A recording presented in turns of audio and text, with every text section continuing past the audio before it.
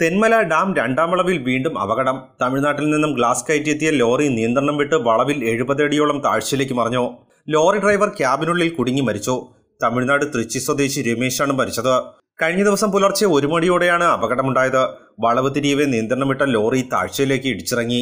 ഇതിനിടയിൽ ലോറിയുടെ ചേസിൽ നിന്നും ഡ്രൈവർ ക്യാബിൻ വേർപെട്ട് താഴ്ചയിലേക്ക് മറിഞ്ഞു. ഉടൻ തന്നെ നാട്ടുകാരും തെന്മല പോലീസും സ്ഥലത്തെത്തിയെങ്കിലും ലോറിയിലുണ്ടായിരുന്ന ഗ്ലാസുകൾ പൂർണമായും പൊട്ടി ക്യാബിന്റെ മുകളിലും മറ്റുമായി വീണതോടെ രക്ഷാപ്രവർത്തനം നടത്താൻ കഴിഞ്ഞിരുന്നില്ല. രാത്രി ഒരു മണി ആയപ്പോൾ ഭയങ്കര സൗണ്ട് കേട്ട്.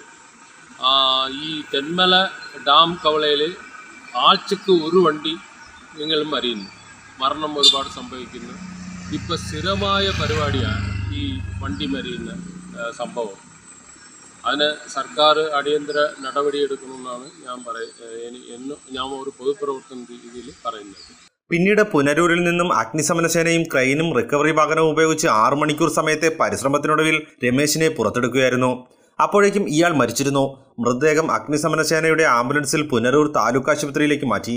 ഗ്ലാസ് പൊട്ടിത്തെറിച്ചതും വെളിച്ചക്കുറവും രക്ഷാപ്രവർത്തനം വൈകാൻ കാരണമായി. തെന്മല സർക്കിൾ ഇൻസ്പെക്ടർ അടങ്ങുന്ന പോലീസ് സംഘം മുഴുവൻ സമയം സ്ഥലത്ത് ക്യാമ്പ് ചെയ്തുള്ള രക്ഷാപ്രവർത്തനമാണ് നടത്തിയത്. ലോറിയിൽ എത്ര പേർ ഉണ്ടായിരുന്നു എന്നത് വ്യക്തമല്ലാത്തതിനാൽ കൂടുതൽ ആളുകൾ ഗ്ലാസിനടിയിൽ കുടുങ്ങിയിട്ടുണ്ട് എന്ന സംശയത്തിനിടയാക്കിയിരുന്നു. പിന്നീട് ലോറി ഉടമയെ വിളിച്ച് രമേശ് മാത്രമേ ലോറിയിൽ ഉണ്ടായിരുന്നുള്ളൂ എന്ന് ഉറപ്പുവരുത്തിയ ശേഷമാണ് പോലീസ് സംഘം അടങ്ങിയത്. ഭാരത് വിഷൻ പുനലൂർ.